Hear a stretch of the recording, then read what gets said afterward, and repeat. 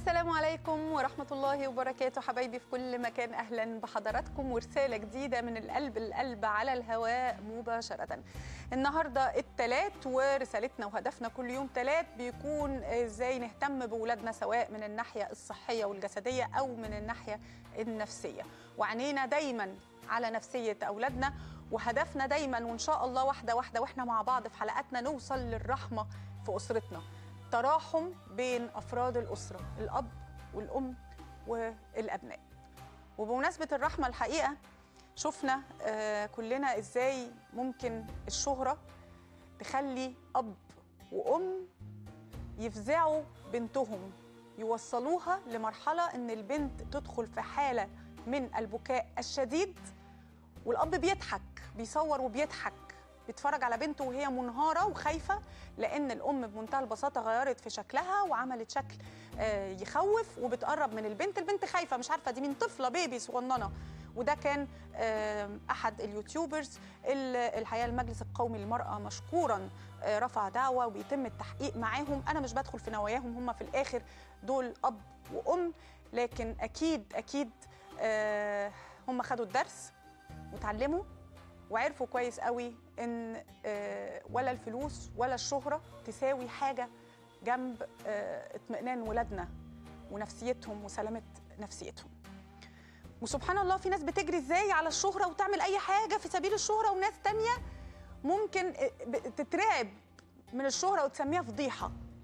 لما نسمع عن أب أو أم ولادهم اتعرضوا للتحرش. وبدل ما يبلغوا ويقوموا الدنيا وما يقعدوهاش والمتحرش ده يعني يتم معاه كل انواع التحقيقات والإجراءات القانونية ويكون درس وعظة وعبرة لمن لا يتعظ لا يخافوا وينكمشوا ويداروا على الموضوع وما يبلغوش عن المتحرش ويقولوا لا لا إحنا مش عايزين فضايح إحنا مش عايزين شوشرة خلاص اللي حصل حصل هنسكت هنعمل إيه؟ لا خلينا خلينا كده إيه؟ في حالنا ومستورين. لا على فكرة دورنا دور دور كل حد فينا لا قدر الله. وربنا يسلم ولادنا يا رب. اللي يتعرض لحاجة زي كده المتحرش ده ما ينفعش يبقى طليق ومنطلق في وسط اطفال كتير جدا وإحنا سايبينه وعارفين مين هو وساكتين أصل إحنا خايفين لا نتفضح. حلقتنا النهارده الحقيقة فيها ثلاث محاور أساسيين. المحور الأول إزاي نحمي ولادنا من التحرش. وزي ما بقول وبأكد دايما في كل حاجة خاصة بتربية ولادنا إحنا بنعمل اللي علينا بناخد بالأسباب لكن في النهاية الستر من عند ربنا. وزي يعني ما بنقول دايما يا رب احفظ ولادنا. النقطة الثانية هتكون إزاي لا قدر الله لو حصل حاجة زي كده أعرف. ما هو ابني أو بنتي ممكن من من من الإحراج من الخوف من الكسوف من أي حاجة ما يقوليش ما أعرفش. أبقى أنا عايشة كده في دنيا وابني بيعيش ألم أو بنتي بيعيشوا ألم لا يحتمل. والنقطة الثالثة أتصرف إزاي؟ لو لا قدر الله حصل عشان أرجع تاني ابني أو بنتي بنفسية سليمة.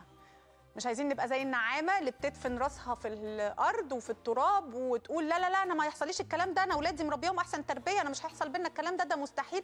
مفيش حاجة اسمها مستحيل وفي إن إحنا ناخد بالأسباب وندعي ربنا إنه يحفظ لنا ولادنا. حلقتنا النهارده حلقة مهمة جدا جدا وهيكون فيها تفاصيل كتير مع أستاذة إيمان عباس أخصائي نفسي أطفال ومعلم تربية إيجابية اللي أكيد هتشرفني وتنورني. بس بعد الفاصل.